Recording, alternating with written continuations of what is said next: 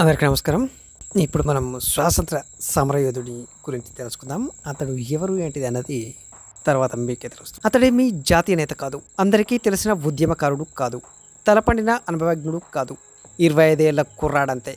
కానీ అతడు చనిపోయాడని తెలియగానే యావత్ దేశం ఊగిపోయింది. అంతిమ యాత్రకు లక్షల మంది తరలివస్తే బ్రిటిష్ ప్రభుత్వం కదిలిపోయింది. బ్రిటిష్ ప్రభుత్వ హయాంలో రాజకీయ ఖైదీల పరిస్థితి దారుణం.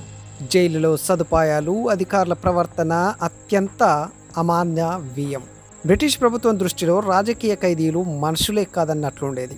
ఈ పరిస్థితులు మారాలంటూ ఆమరణ నిరాహార దీక్ష చేసి పంతొమ్మిది వందల ఇరవై తొమ్మిది సెప్టెంబర్లో పదమూడున మరుడైన జితేంద్రనాథ్ దాస్ కథ వింటే ఇప్పటికీ ఒళ్ళు గగురుపాటుకు గురవుతుంది. పంతొమ్మిది వందల నాలుగులో కోల్కతాలో జన్మించిన జితేంద్రనాథ్ దాస్ ఇంటర్మీడియట్ ఫస్ట్ క్లాస్లో పాస్ అయ్యారు మహాత్ముడి పిలుపుతో పదిహేడవ ఏటనే సహాయ నిరాకరణ ఉద్యమంలో పాల్గొన్న జితేంద్ర అనుశీలన్ సమితి అనే విప్లవవాద బృందంలో చేరారు.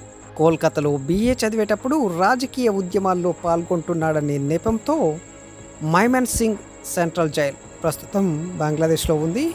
అక్కడ ఆ జైల్లో పెట్టారు. ఆ జైల్లో పరిస్థితులకు నిరసనగా ఇరవై ఒక్క రోజులు జతేంద్ర నిరాహార దీక్ష చేయటంతో జైలు సూపరింటెండెంట్ దిగి వచ్చి క్షమాపణ చెప్పాడు. తర్వాత దేశంలోని ఇతర విప్లవకారులతో జతేంద్రకు సంబంధాలు ఏర్పడ్డాయి. భగత్ సింగ్ తదితరుల కోసం బాంబు తయారీకి సిద్ధమయ్యాడు.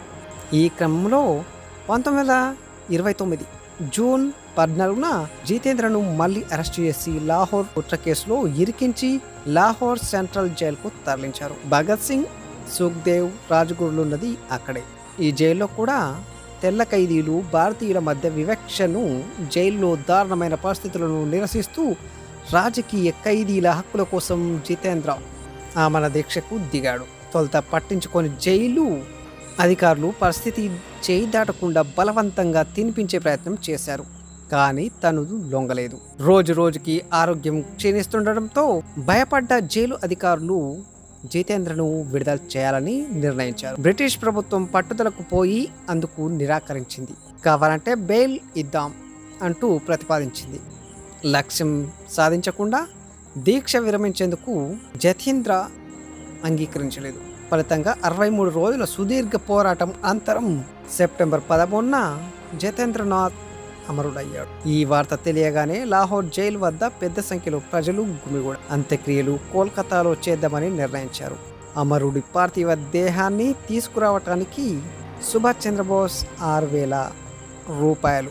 లాహోర్ నుంచి రైల్లో బయలుదేరితే ప్రతి స్టేషన్లోనూ ఆపటమే. అంత బోర్న విలపిస్తూ నివాళులు అర్పించడమే కాన్పూర్లో నెహ్రూ అలహాబాద్లో కమలా నెహ్రూ రైలు వాసి జితేంద్రకు అంజలి ఘటించారు. కోల్కతా హౌరా స్టేషన్లో సుభాష్ చంద్రబోస్ స్వయంగా వెళ్ళి పార్థివ దేహాన్ని స్వీకరించారు.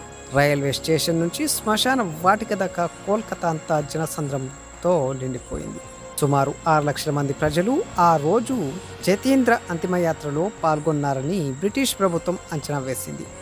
అంతమందిని చూసి అదిరిపోయిన బ్రిటిష్ పాలకులు ఆ తర్వాత మరే విప్లవ వీరుడు చనిపోయినా వారి మృతదేహాలను బంధువులకు అప్పగించలేదు.